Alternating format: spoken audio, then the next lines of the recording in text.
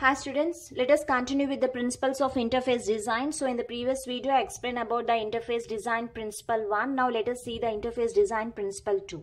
So in the interface design principles 2 we have discussed, uh, we will discuss about the focus, Fitts law, human interface objects, latency reduction and learnability.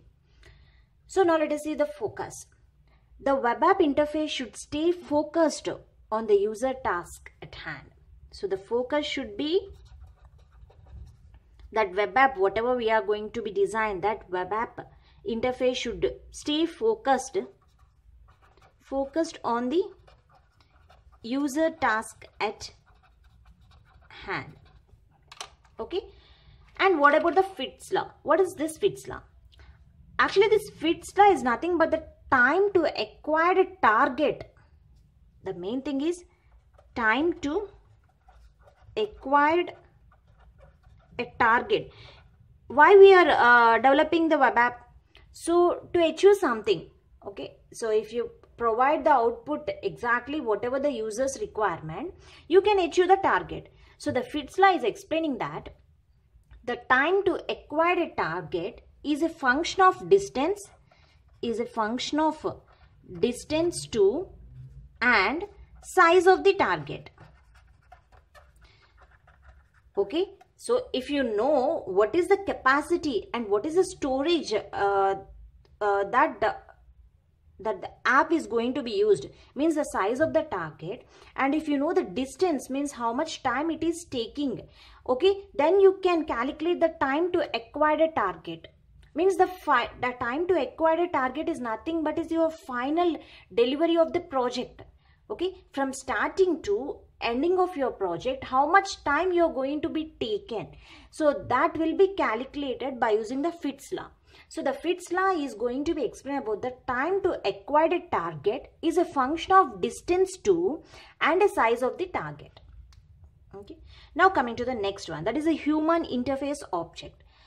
So the human interface object here a vast library of reusable human interface objects has been developed for web apps. So already some web apps uh, for uh, developing the web apps already some library uh, reusable human interface objects are developed. So these human interface objects are stored in library. There a vast library will be there or stored in a vast library of reusable human objects which are reusable which are reusable. Okay? So uh, a vast library of reusable human interface objects has been developed for web apps. So already they are stored in a vast library which are reusable and they are useful for they are useful for developed developed web apps. Next is a latency reduction. So what is this latency reduction? The web app should use multitasking in a way that lets the user proceed with the work as if the operation has been completed. So first let me write the point. The web app should use multitasking. It has to design in the way that it has to perform multitasking in a way that lets the user the user proceed with work as if the operation has been completed operation has been completed. And the final one is the learnability. So learnability is nothing but a web app web app interface should be designed to minimize the learning time. How can we achieve the learnability? While minimizing the